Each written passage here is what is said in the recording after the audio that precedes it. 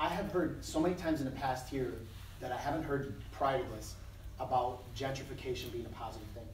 So there are point of views of a lot of folks talking about the fact that's positive. And, um, and, and most of the times, actually every single time it was, it was someone that was white that was making investment in the neighborhood. And they said, these neighborhoods, um, they need this investment. Uh, they need it because of the blight and vacancy. There's nothing happening there. There's issues of crime.